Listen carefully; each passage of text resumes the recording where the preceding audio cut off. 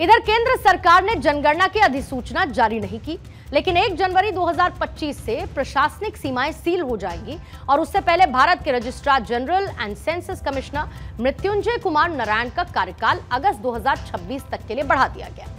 और इससे संकेत क्या मिले? संकेत ये कि अगले साल जनगणना होगी। इसके बाद अगले साल 2026 में लोकसभा सीटों का परिसीमन, यानी कि डीलिमिटेशन होगा। और फिर इसी आधार पर 2029 में साथ होने वाले चुनाव में एक तिहाई सीटें महिलाओं के लिए आरक्षित की जाएँगी। इसी बीच तमिलनाडु के मुख्यमंत्री एम के स्टालिन ने एक बड़ा सवाल उठा दिया। स्टालिन ने एक सामाजिक कार्यक्रम में जहाँ पर 16 नवविवाहित जोड़ों को आशीर्वाद दिया जाना था, वहाँ पर उन्होंने कहा कि जब हम ऐसी स्थिति का सामना कर रहे हैं, जहाँ पर संसद में सीटों की संख्या कम होने वाली है तो हमें छोटा परिवार क्यों रखना चाहिए? इसके आगे उन्होंने नवविवाहित जोड़ों से ज़्यादा बच्चे पैदा करने और उन्हें सुंदर तमिल नाम देने का आग्रह किया है। स्टालिन ने कहा कि शायद अब यह समय आ गया है कि जो नए कपल्स हैं, वो 16-16 बच्चे पैदा करें। स्टालिन की यह टिप्पणी चंद्रबाबू नायडू द्वारा इसी तरीके का बयान दिए जाने के एक दिन बाद आई नायडू ने कहा था कि दो से ज़्यादा बच्चे हैं, तभी चुनाव लड़ पाएँगे। जब दुनिया भर में भारतीय जनसंख्या टॉप पर है ऐसे में दो राज्यों के मुखिया जनसंख्या घटाने की जगह जनसंख्या बढ़ाने पर क्यों ज़ोर दे रहे हैं? हम दो, हमारे दो का नारा लगाने वाला भारत और उसके एक राज्य के मुख्यमंत्री, हम दो, हमारे दो की बात क्यों नहीं कर रहे हैं? इन सवालों का जवाब आइए आपको समझा देते हैं। क्योंकि उत्तर भारत और दक्षिण भारत में प्रजनन दर के आंकड़ों पर जरा आप एक नज़र डालिएगा। सबसे पहले आंध्र प्रदेश और फिर तमिलनाडु की बात करूँगी।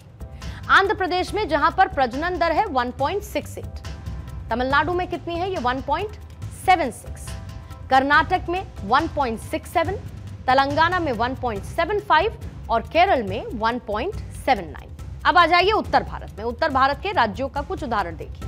जैसे कि उत्तर प्रदेश में जो प्रजनन दर है, वो है दो दशमलव तीन पाँच। राजस्थान में दो दशमलव शून्य एक। बिहार में है दो दशमलव नौ आठ। मध्य प्रदेश में एक दशमलव नौ नौ। और हरियाणा में एक दशमलव नौ एक है। अब दक्षिण के राज्य और उत्तर के राज्यों में प्रजनन दर का जो डिफरेंस है, वो आपको साफ़ तौर पर रिफ्लेक्ट हो रहा है।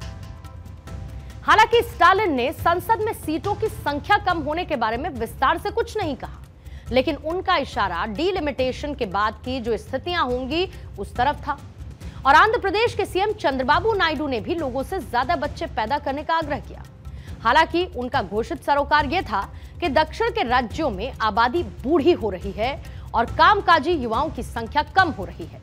लेकिन कहीं ना कहीं वो इस बात से चिंतित हैं कि अगर आबादी के आधार पर लोकसभा सीटों का परिसमन हुआ तो दक्षिण के राज्यों की राजनीतिक हैसियत घट जाएगी। अब इसके बाद यह बहुत बड़ा सवाल है कि लोकसभा सीटों के परिसीमन का आधार क्या होगा? क्या सीधे तौर पर पॉपुलेशन के हिसाब से सीटों की संख्या में बढ़ोतरी कर दी जाएगी? और अगर ऐसा हुआ तो उत्तर प्रदेश, बिहार, मध्य प्रदेश और राजस्थान, साथ ही महाराष्ट्र जैसी जहाँ पर बड़ी आबादी वाले राज्य हैं, उनको इसका फ़ायदा हो जाएगा। और जो दक्षिण भारत के राज्य हैं, वो इस लिहाज से अगर ये आधार रहता है तो ये घाटे में रहेंगे। और तभी चंद्रबाबू नायडू और एम के स्टालिन की चिंता सामाजिक या फिर आर्थिक नहीं है, बल्कि राजनीतिक ज़्यादा दिखती है। ये चिंता क्षेत्रीय वर्चस्व और फिर अस्मिता की राजनीति में भी बदल सकती है और इससे एक बड़ा खतरा पैदा हो सकता है। इसीलिए सरकार को परिसीमन के फॉर्मूले के बारे में तर्क संगत तरीके से विचार करना होगा और उस पर सभी दलों और राज्यों की सहमति अनिवार्य रूप से लेनी ही होगी। दरअसल जो डीलिमिटेशन है, वो हर जनगणना के बाद होता है। और ये प्रक्रिया जनसंख्या के लेटेस्ट आंकड़ों के मुताबिक संसद और राज्य विधानसभाओं के जो निर्वाचन क्षेत्र हैं, उनकी संख्या को एडजस्ट करती है, ताकि ये सुनिश्चित किया जा सके कि कोई भी सांसद या फिर विधायक, जिस जनसंख्या का रिप्रेजेंटेशन कर रहा है, उसमें लोगों की संख्या लगभग समान नज़र आए। मतलब ये कि इसी प्रतिनिधित्व का बैलेंस बनाए रखने के लिए ये मस्ट हो जाता है। अब आज़ादी के बाद से मोटे तौर पर आबादी के आधार पर ही लोकसभा और विधानसभा सीटों की संख्या तय होती रही है। और तभी उत्तर प्रदेश में 80 सीटें हैं, तमिलनाडु में उनतालीस है। लेकिन आज़ादी के बाद राज्यों ने जनसंख्या नियंत्रण के उपायों को अलग अलग तरीके से लागू किया। जैसे कि मसलन दक्षिण के राज्यों का ज़िक्र करते हैं। वहाँ पर जनसंख्या बढ़ने की दर रिप्लेसमेंट रेट से भी कम है। रिप्लेसमेंट रेट कितना है? 2.1 इसका मतलब क्या है? इसका मतलब यह है कि अगर दो लोग मिलकर 2.1 बच्चे पैदा करते हैं तो जनसंख्या नहीं बढ़ेगी, वो स्थिर हो जाएगी। अब दक्षिण के राज्यों में जनसंख्या बढ़ने की दर 1.6 परसेंट है, जो कि रिप्लेसमेंट रेट से काफ़ी कम है। अब उत्तर के राज्यों में, खासकर जैसे बिहार और उत्तर प्रदेश, वहाँ पर वृद्धि दर रिप्लेसमेंट रेट से ज़्यादा है। और ऐतिहासिक रूप से यह स्थिति रही है और तभी दक्षिण के राज्यों में आबादी नियंत्रित हुई और उत्तर भारत के राज्यों में यह बढ़ती चली गई। हालाँकि अब वहाँ पर भी रफ्तार धीमी हो रही है, लेकिन उन राज्यों की जनसंख्या बहुत ज़्यादा है।